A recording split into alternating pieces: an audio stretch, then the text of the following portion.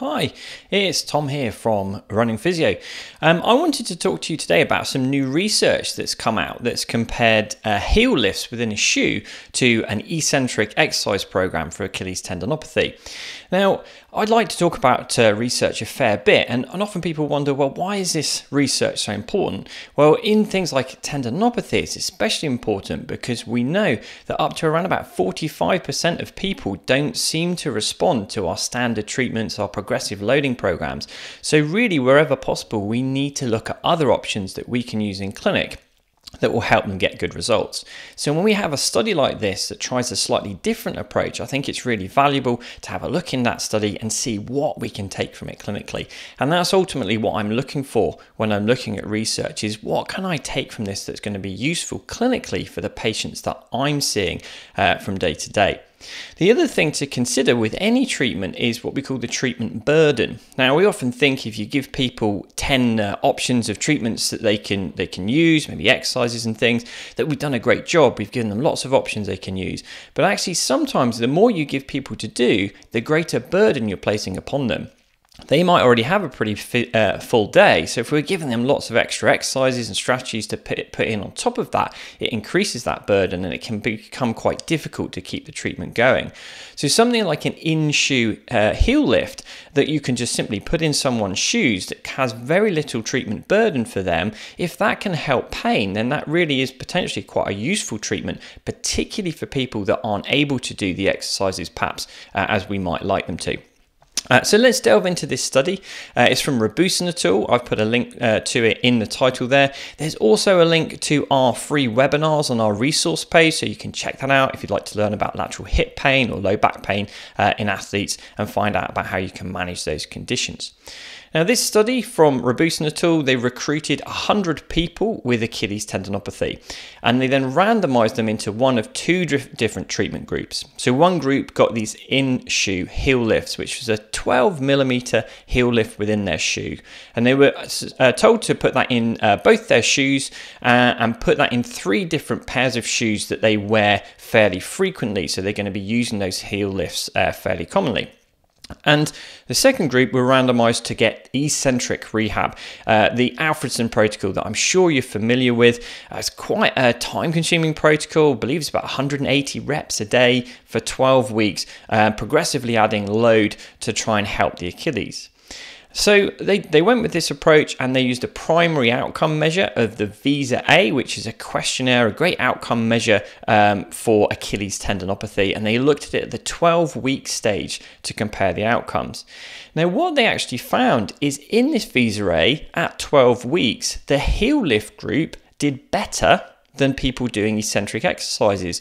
On average, with the heel lift group, their VISA A scores improved by 26 points compared to an improvement of 17.4 points in the eccentric group. And that led uh, the authors to reach this conclusion that the heel lifts were more effective than the calf muscle eccentric exercises in reducing pain and improving function at 12 weeks. So it's tempting then to, to think, okay, maybe this evidence tells us that our eccentric um, uh, heel raises may actually be outperformed by a simple in shoe heel lift. However, as with any research, it's important to dig into the details a little bit more. And what you find is, although there was a difference there, it didn't exceed the minimal clinically important difference of 10 points. So it's debatable how relevant that small difference in Visa A is at the 12 week stage. They also didn't uh, take the follow up beyond 12 weeks, and there's no control group here. And what I find quite interesting about this study is if you look at the secondary outcome measures like calf strength, they didn't actually improve with either intervention. And about half the people in the study reported pain at different sites, like the knee. So I think it'd be really interesting if they put a control group in there, maybe with just some education around load management to see if actually simple education was as good as these two interventions that they used here. So to answer the question that we set out, uh, you know, with from the start here, are uh, heel lifts superior to eccentrics? Um, the answer at the moment is we probably can't say yes that they are. We need more evidence in this. We need more long-term studies. So, what can we actually take from this clinically if you're working with a patient with Achilles tendinopathy? Well, one, I think I would actually consider heel lifts as an option. A 26 point improvement in uh, score is actually uh, reasonably good compared to other studies uh, that have looked at other interventions. Um, and it is a, an option that comes with a low treatment burden. I think it might be particularly useful for some patients, maybe those that haven't responded well to exercises or aren't able to do them. Probably it's more likely to suit the less active sedentary individuals. So it may well be a good thing to consider if it's going to improve their pain and their function, and it's an easy thing for them to apply.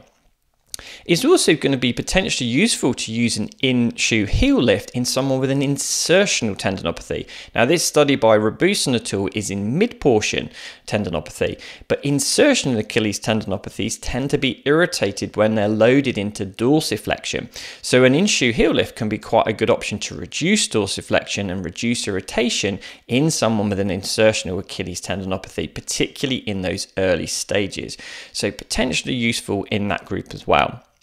However, I'd also, from this study, question whether heel lifts and even eccentrics actually are addressing the patient's rehab needs. I think it's really interesting finding from this study that the, the calf raise test that they looked at, you know, how many calf raises can you complete, didn't actually improve a great deal with either approaches. So doing this eccentric loading program every day, twice a day in fact, for 12 weeks, didn't actually have a massive effect on their ability to perform calf raises. And this mirrors what I'm seeing clinically actually when I'm seeing patients that haven't responded well to an eccentric program. They don't they don't seem to have found that their strength needs have been addressed by that eccentric program.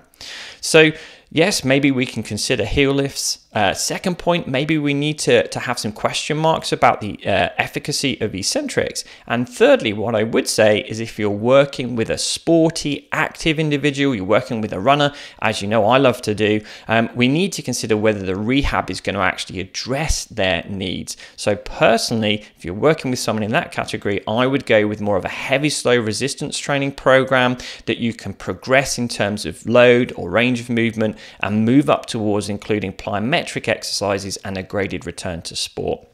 Yes, maybe consider a heel lift within that management, uh, within the shoe, if you think it's going to help pain or function, but we still need something in there that's actually going to address their rehab needs.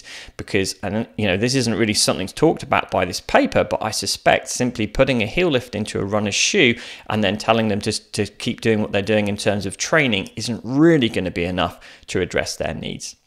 Okay, thank you very much for listening. As I said, that is uh, Rabusin et paper, uh, recently published. The link's there in the information. I've also included a link to a number of free webinars we've put together for you on Achilles tendinopathy, lateral hip pain, and lower back pain. So do check those out. Um, I really like doing these videos, and particularly, I love hearing your questions. So if you've got a question about this study or how we might treat tendinopathy or what we might use in runners, do put them in the comments below. Uh, I'll keep an eye out for those and look forward to uh, coming to those later. Okay, thanks very much for listening. Bye for now.